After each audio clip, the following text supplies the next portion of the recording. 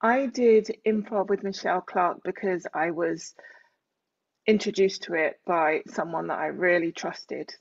And at the time, the very thought of doing improv gave me anxiety. My only understanding of it was that it's something where you had to make a complete fool of yourself. And that wasn't really something that I was interested in doing. But as a coach and trainer to women, my job is to allow them that safe space to be themselves, no matter what that might look like. And the person that recommended me thought that that could help me, give me some tools and techniques to bring my own training, bring my own message alive. And he was absolutely right.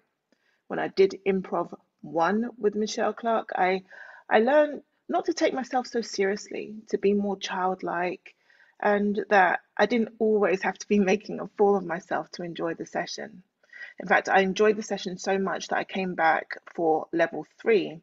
And this level, um, being the advanced level, really was what took my my business, my understanding of improv in business to a new level.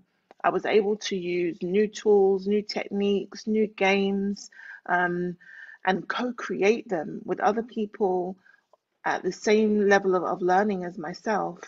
And we were able to put together games that helped me with my recent retreats, helped me bring women that I work with um, out of themselves just by applying things that I may not have come across otherwise.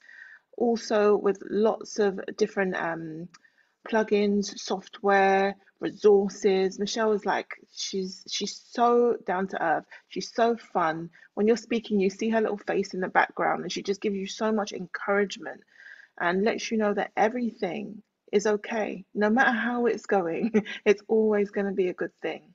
I recommend this as an experience level one, two, or three for anyone that's interested in changing the lives of others and having them participate fully in that transformation.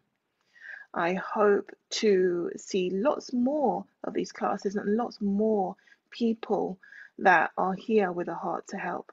Thank you, Michelle, for all that you do for all of us. And thank you especially for what you've done for me.